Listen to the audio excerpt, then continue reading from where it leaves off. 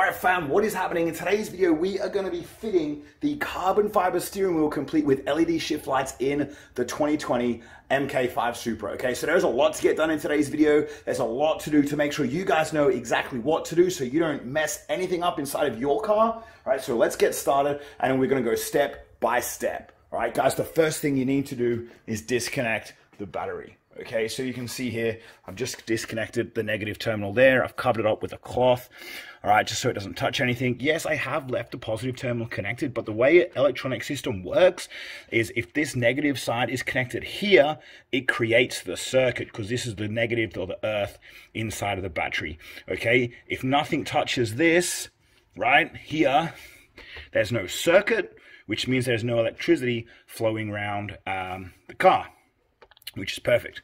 Okay, so, but remember guys, what you need to do is there is no boot catch on the outside of the MK5 Supra. Okay, so if you're gonna close the boot, make sure you cover it with something so it doesn't catch. Otherwise, you're gonna be climbing through there to try and release the boot.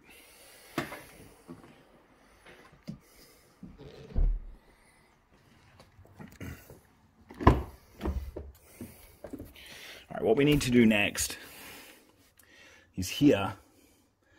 You can see I've already done one side. I'm going to show you when we jump in. We need to stick a screwdriver in this side here. We're going to puncture a hole in the side of the steering wheel just so we can release the airbag. All right, I'm going to set the camera up on the um, window on the other side of the car just so you guys can see exactly how I do that for the other side.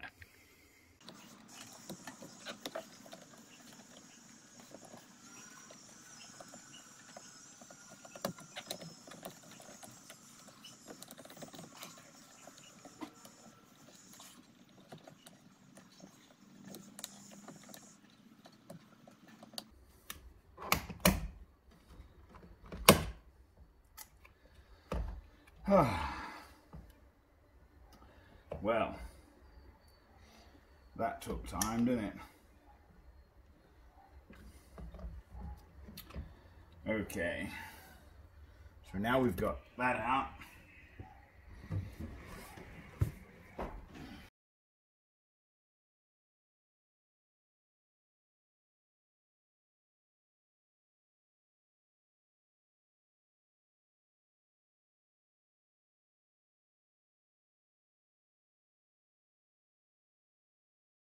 All right, so that was fiddly, right, to say the least, okay? But now that it's come off, you don't want to pull this out too far because you see it is all connected.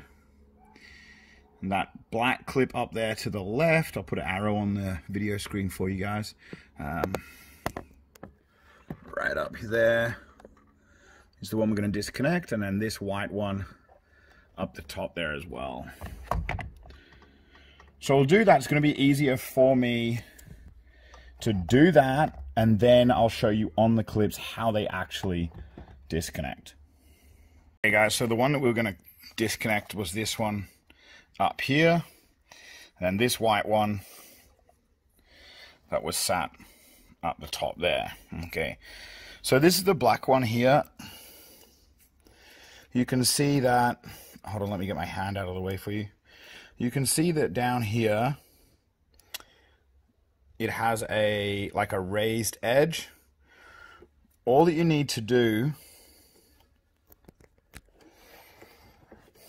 is get your flat blade screwdriver in there just to push down on the clip and it should slide straight off. And then this white one here in here you can see that little hole right there in the clip. All you're going to do is again get the edge of your screwdriver push it down in there and then that clip pulls apart too. Okay these wires guys are super super small. So the last thing you want to do is just pull on them for the sake of it okay? Okay so now that we actually have the whole airbag assembly and horn out here. What we can go ahead and do now is remove this 16 mil bolt. Okay, so this is torqued in, obviously, there's a torque setting on it, um, but it's also going to have Loctite on it as well. Okay, so it's going to be super, super, super tight, which means that you may have to turn the steering wheel all the way to one side to crack it off. Now, I've already cracked it off, so I'm going to go ahead and finish undoing that, and then I'm going to show you how we disconnect these last two connectors and give you a tip before you take the wheel off. Right. So as you can see, like I said, I knew there'd be a bit of Loctite on that there, and there it is. So we're going to make sure that when we put it back in, we just use Loctite again before we put it back in, okay? And there it is. Oh it is. All the Loctite's broken down. You can see there's just a bit of residue from that Loctite. So what we're going to do is going to grab the screwdriver that I seem to be sat on right now all right, uh, there it is. We're going to apply a little bit of pressure up the top here, okay, to remove this plug. And a little bit of pressure on this side here on the clip to remove this one, okay? So I'm going to go ahead and do that. All right, so those are out, okay? And you can see it's really easy to distinguish where everything goes, which is perfect. Okay. And all these wires are for the things like the paddle shifters, um, the steering wheel vibration system that's held down here underneath this bit here. And all of this, everything here, I'll zoom out a bit for you as far as I can. All of this is going to be transferred over into the new wheel. But remember, now that the wheel's ready to take off, you want to make sure that the wheel is straight before you take it off. So when you put the other one back on, it's straight. Once you've taken this wheel off, don't mess around with anything that is underneath the wheel. Take it off, get out of the car, go to your workspace, change the wheels over. I'll show you how to do that. Come back in, fit it on. Don't mess around with anything that's underneath the steering wheel. Put it all back together, you're good to go. And just so you guys know what it looks like, don't mess around with any of that. Leave it as it is if you don't need to. In order to take the wheel off, once everything's undone, all you gotta do is give it a little bit of a shimmy and it'll slide straight off. So let's take this wheel and the airbag system inside onto the workspace and we'll help uh, and I'll show you guys how to change everything over. All right, so we're here on the workspace. Here's the carbon fiber wheel. Here's the airbag, horn complete with the whole clock assembly thing. All right, now in order to start getting everything off, we're gonna start taking off the paddle shifters first, okay? So these Torx bits down here, all right, leave those in first, and then we're gonna unplug these, okay? These blue ones unplug exactly the same as the white one there okay, that we unplugged earlier. So what we're gonna do is depress down inside that hole and pull it out at the same time. Once we've done that, we can undo the Torx bits and remove the paddle shifters. So I'll do that and I'll show you what that looks like. All right, so here are the paddle shifters. We've removed those from the wheels. Guys, what I always do when I'm removing stuff is if they have a screw that is specific for that so I don't lose it, I just screw it back in lightly just so I never lose that, okay?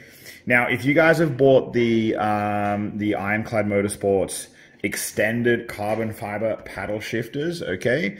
Um, in fact, let me go and grab some and I'll show what they look like. Yeah, so if you guys have bought the carbon fiber paddle shifters, you're gonna need to transfer this over into here. Now, these are actually a customer's paddle shifters, okay? The guy wanted to have a leather, because he's got the red leather interiors, he wanted red leather here, and he wanted the red symbol to match that. Now, so I'm not gonna fit, actually show you how to fit this in here because it is a customer paddle that's already been paid for.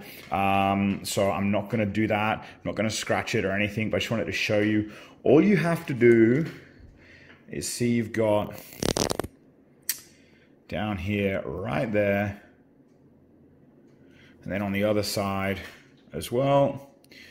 Bigger on this side, bigger on the top side, smaller on the bottom side. You are gonna push that out so it comes out this side and that'll clip off. There'll be a spring underneath it, which will sit back in here. All right. And you'll just transfer everything over into your extended carbon fiber paddle shifter.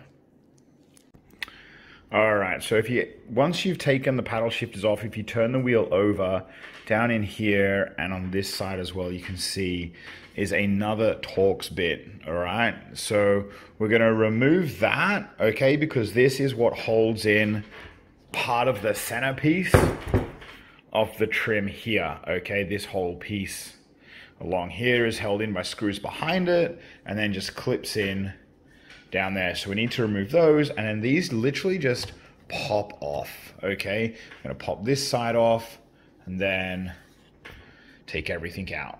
All right, guys, so next step, here's all the wiring loom for the steering wheel. Okay, I hope you guys are still following me. It's super, super self-explanatory where everything goes, okay? This black clip here goes underneath the controls on this side